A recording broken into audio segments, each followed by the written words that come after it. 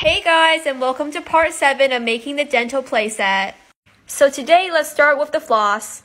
I started with an actual floss container. Then you can draw the label on a sheet of paper or paint on it. So I just wrote floss and you want to tape over it. Like that and I cut mine out. Now you want to hot glue it onto the box. Now let's make this cup.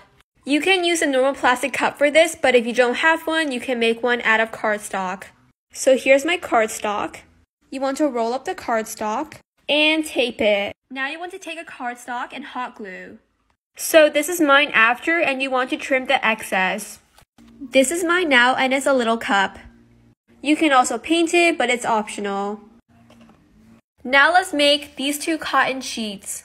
So I took a paper towel and cut it into little squares. So here is mine. Also guys, I'm almost done this playset. There's only like one or two more parts left. So after when I'm done with this playset, I might start to make a kitchen playset for my paper squishies. But anyways, thank you so much for watching and see you in part 8. Bye!